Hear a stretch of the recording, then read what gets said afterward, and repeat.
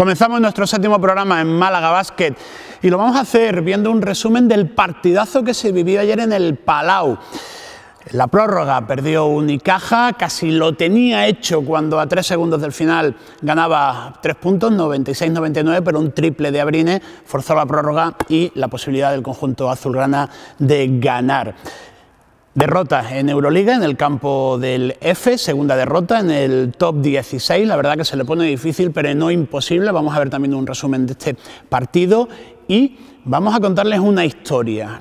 Es la historia de un apagón, el que se produjo el pasado 4 de enero en el Carpena, en el partido que enfrentaban a Unicaja ante Obradoiro. No es habitual, no es usual y hemos querido sacarle punta de alguna manera para que ustedes vean cómo se desarrolló esa hora y media inusual en el mundo del baloncesto. Vamos a ver un resumen del Clínica Rincón ante el Palencia. Ganó el equipo castellano leonés y vamos a hablar con uno de los integrantes del conjunto palentino, ex jugador de Unicaja en dos ocasiones. Estamos hablando de John Cortabarría. Y también, por último, en Liga EVA vamos a ver un resumen del Nova Córdoba, que se saldó con victoria de los colegiales de los malagueños por 72-69.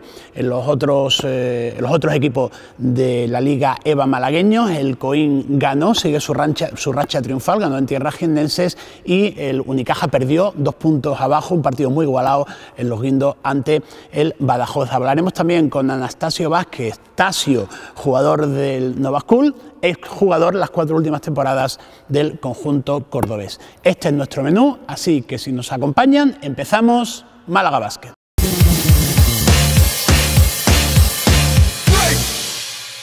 Partidazo el que se marcaron en el Palau Unicaja y Barcelona. A pesar de la derrota, los malagueños salen reforzados y con la mochila de la autoestima cargada de confianza. El primer cuarto tuvo como claro protagonista Golubovic, pero los catalanes sobrevivieron gracias a los puntos de Jackson para llegar al final del primer cuarto con un ajustado 27-24.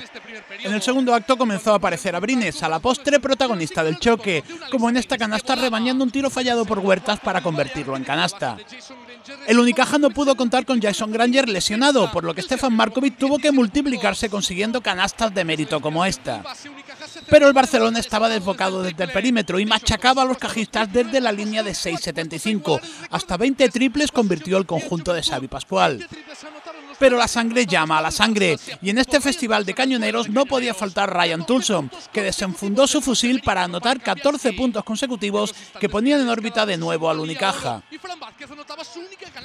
Los malagueños llegaron a los últimos tres segundos con tres puntos de ventaja, 96-99, pero la suerte se alió con Alex Abrines, que convirtió un triple a tablero sobre la bocina que forzaba la prórroga. El Unicaja afrontó el tiempo extra sin Markovic eliminado por faltas, pero con un extraordinario Tulson que poco pudo hacer ante el nuevo vendaval de triples de un Barcelona que terminó llevándose el partido 114-110. No le fueron mejor las cosas a los cajistas en Euroliga, aunque nuevamente demostraron que son capaces de plantarle cara a cualquier equipo por poderoso que este sea. En el Abdi Peki Turco los malagueños realizaron quizá la mejor primera parte de la temporada, pero se hundieron de manera incomprensible tras el descanso para terminar sucumbiendo 74-70 en lo que fue su segunda derrota en el top 16.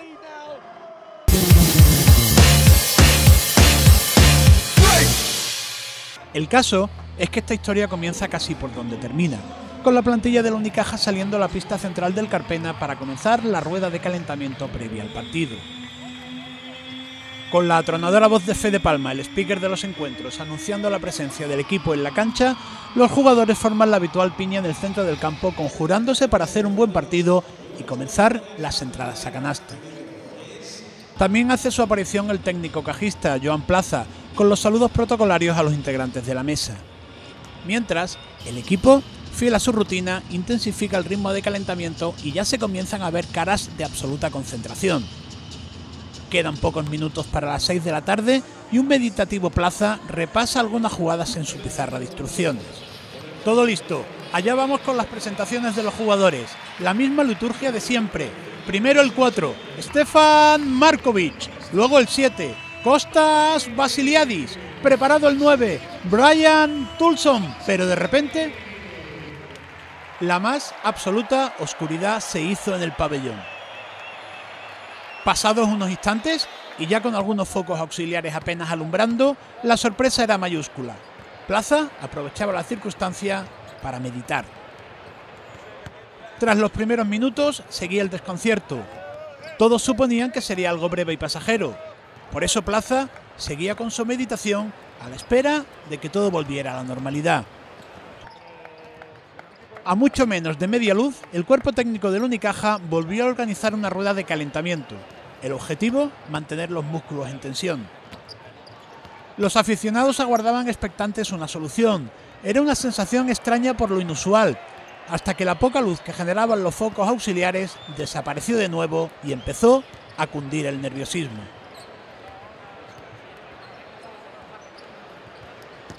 Los ordenadores, portátiles y resto de equipos informáticos funcionaban solo con las baterías y ya se producían las primeras llamadas a la sede del ACB para recibir instrucciones.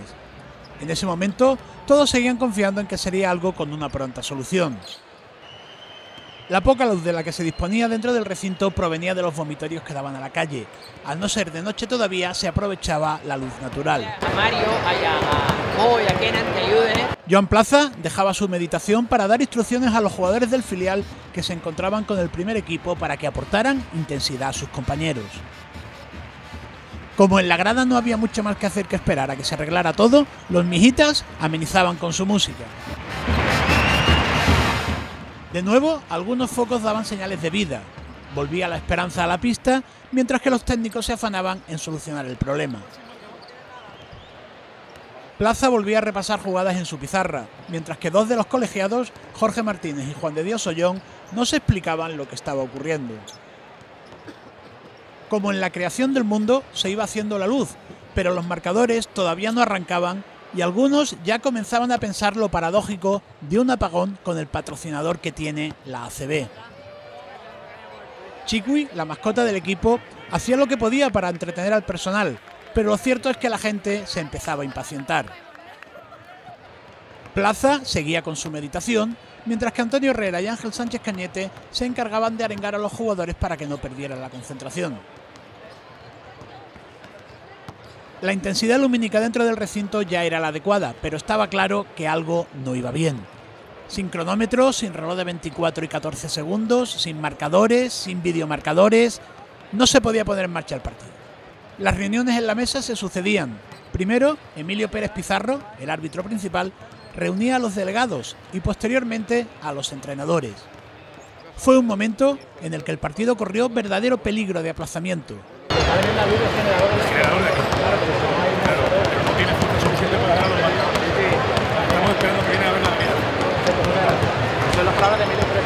Puede ser que hay un protocolo en ACB en, el que dice que hay que jugar sí o sí, casi, casi. Para que, por suerte, por desgracia, el baloncesto a nivel tecnológico ahora depende tanto de factores externos, porque antes pues si no funcionaba los 24 segundos, uno silbaba faltando 10 segundos y ya está, pero ahora hay muchos condicionantes que requieren, quizá no el marcador como tal, el tanteo, pero sí los 14 segundos, los 24 segundos, los 8 de cruce de media cancha. Y, entonces estábamos esperando que eso sucediera, pero hemos hablado con, con Moncho y Emilio Pérez Pizarro y al final hemos decidido esperar y se ha podido arreglar, pero bueno, yo creo que, que al final se ha podido hacer, pero hemos de intentar que no suceda. Vamos a la decisión que vaya mejor, ¿vale? Sí, Como ahora teóricamente está previsto un cambio de luces, ¿no? Esperemos que todo esto se pueda prever y que no vuelva a suceder nunca más. Una vez traspasado el primer momento crítico, aunque sin una solución definitiva todavía, la duda surgía qué hacer con los jugadores que a todas luces, en este sentido sí, ya habían perdido toda la intensidad competitiva adquirida en el calentamiento. Plaza volvió a su estado de meditación mientras Chikui seguía ejerciendo como entretenedor oficial de unas gradas que seguían aguardando impaciente a que comenzara el partido.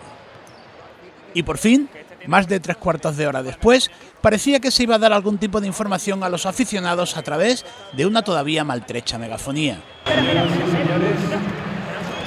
Les informamos que de momento seguimos esperando a que se solucione la avería que está generada en el exterior. Falsa alarma, al menos en cuanto a una pronta solución, aunque ahora se sabía que el problema estaba en el exterior del Carpena. Así las cosas, mientras unos tomaban rumbo a los vestuarios, otros organizaban un improvisado concurso de lanzamientos a canastas desde el centro del campo, ante el regocijo del respetable en el que resultó vencedor Ryan Tulson. Pero Joan Plaza estuvo hábil y reunió a los suyos antes de que aquello se convirtiera en una verbena. No hay que perder de vista que estábamos en la previa de un partido de Liga ACB. Entre tanto, los marcadores y demás operativos resucitaban, y aunque el videomarcador central todavía no daba señales de vida, lo que había era más que suficiente para empezar. Solo era cuestión de ajustar todo nuevamente para el ok definitivo. Con los equipos nuevamente en la cancha engrasando máquinas y cuando en el pabellón se volvía a crear un clima de prepartido, de nuevo el recinto se sumió en la más completa oscuridad. La perplejidad del primer apagón se convirtió en sorna en las gradas con el segundo, y los más cachondos no dudaron en darle un toque de ambiente de concierto al que se sumó hasta algún jugador del Obradoiro.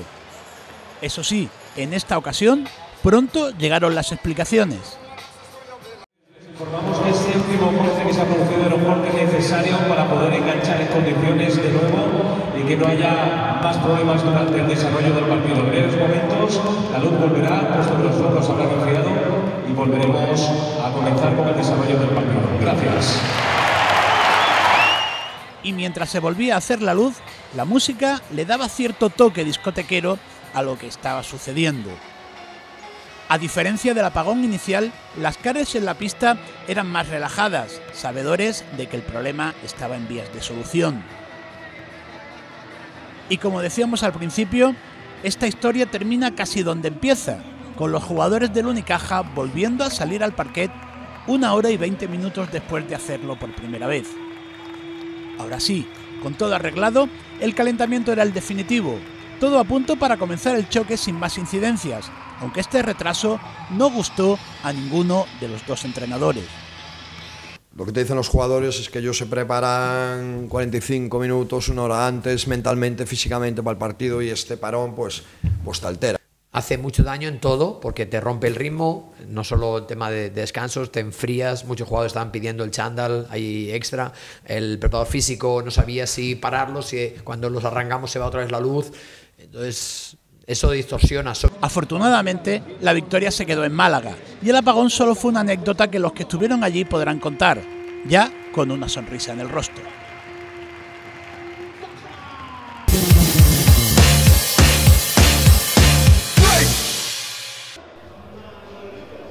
Abandonamos ahora los partidos, las historias y los aficionados de ACB. Bajamos un escalón y nos quedamos en la LEP Oro, no están funcionando este año las cosas tan bien en el Clínica Rincón como les gustaría a todos en el plano deportivo.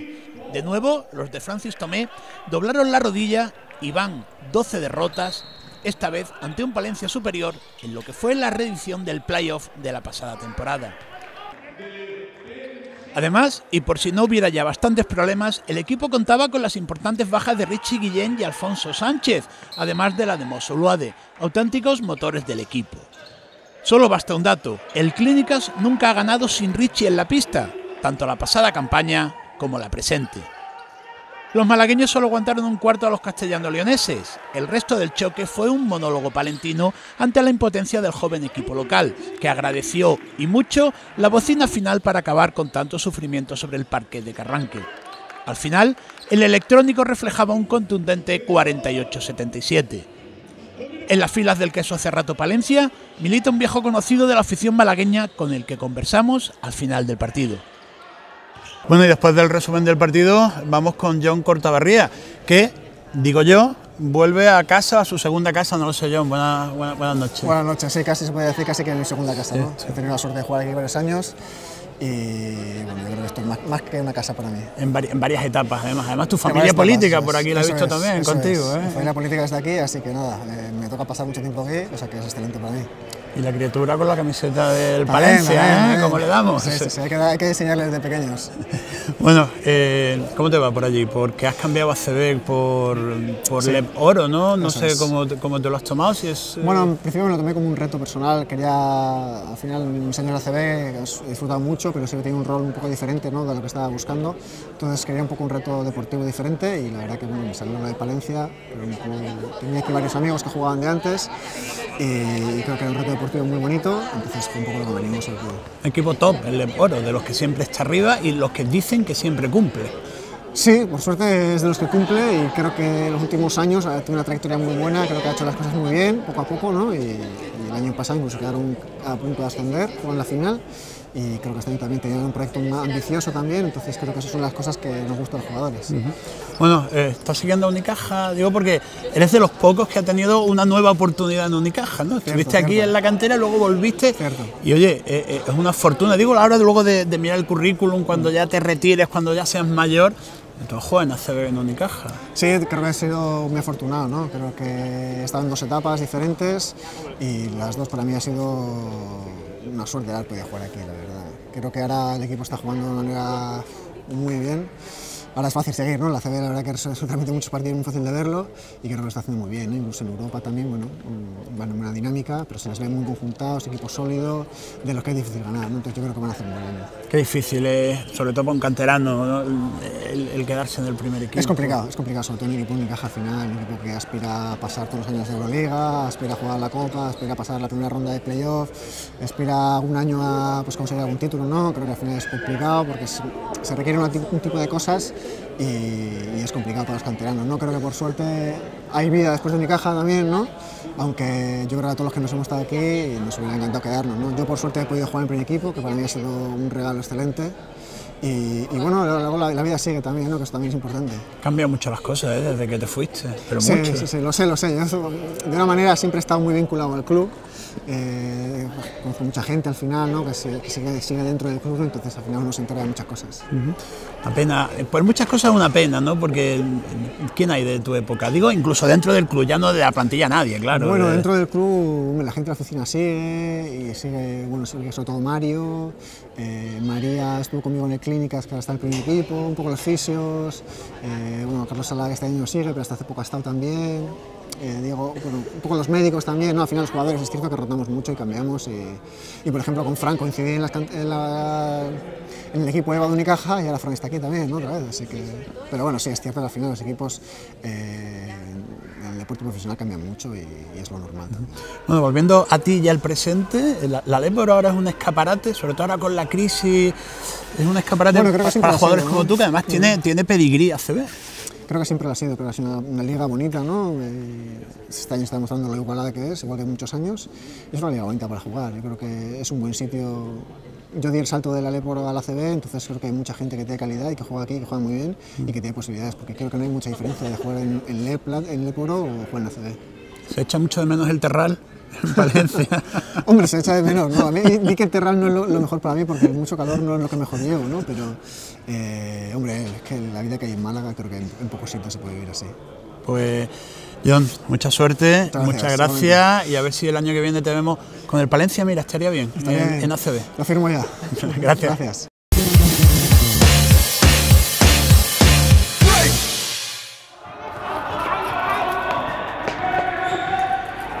Y del EP Oro nos vamos a Liga EVA, de la derrota del Clínica Rincón a la victoria del Nova School en una competición, en una liga donde también ganó el Coin en tierra jiennense y donde lamentablemente perdió el Unicaja en los guindos ante el Badajoz. Así que si me acompañáis, vamos a ver el resumen de este interesante Nova School Córdoba.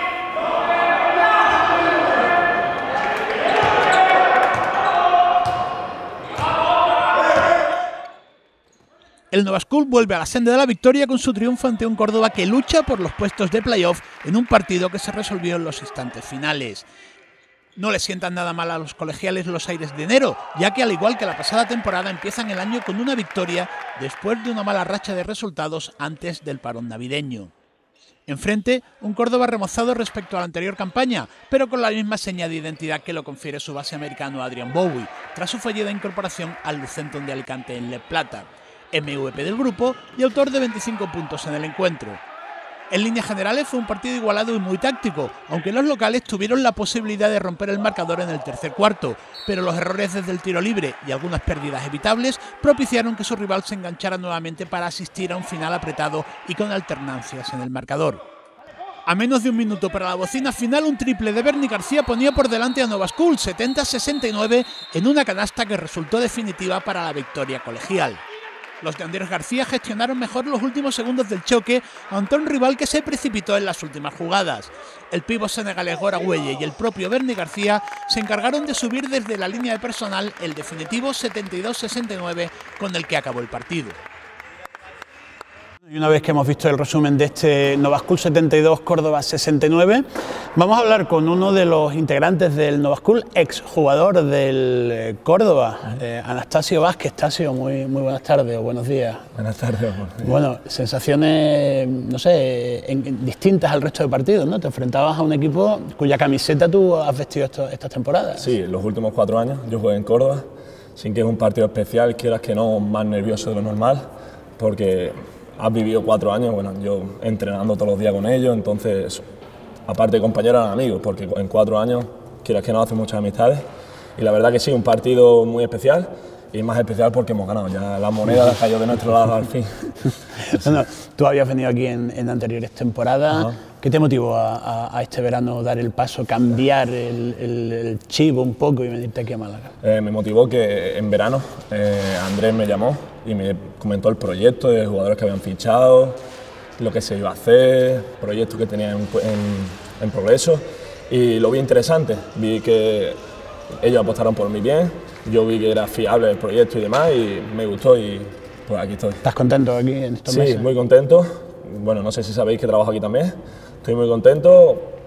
He hecho aquí muchas horas, pero sin problema porque estoy en lo que me gusta. Así que encantado.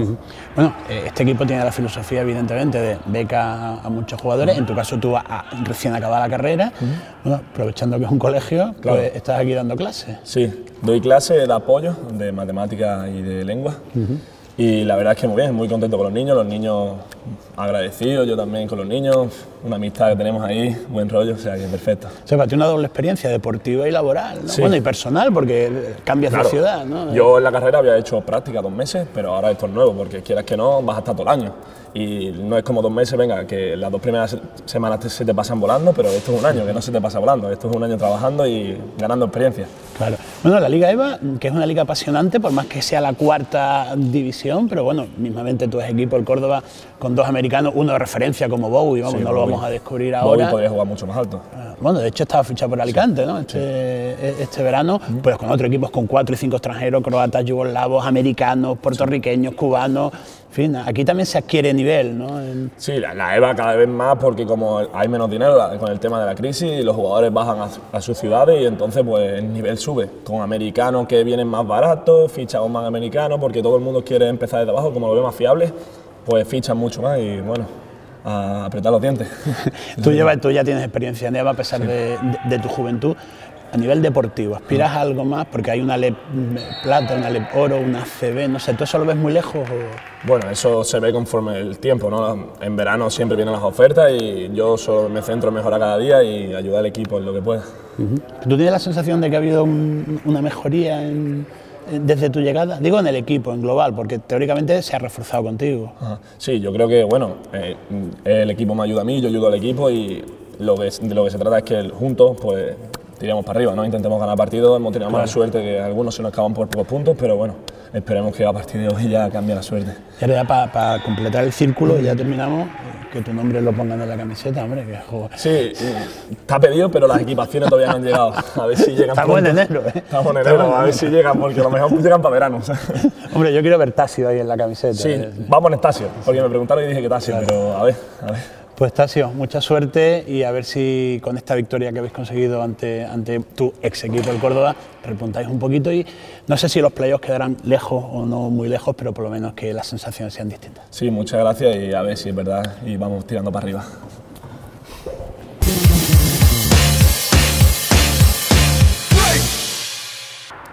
Y con esta conversación que hemos tenido con el jugador del School, Tasio, despedimos nuestro séptimo programa aquí en Málaga Basket. Les emplazo al lunes que viene porque volveremos con actualidad y también con reportajes que espero, espero sean de su gusto. Hasta la semana que viene.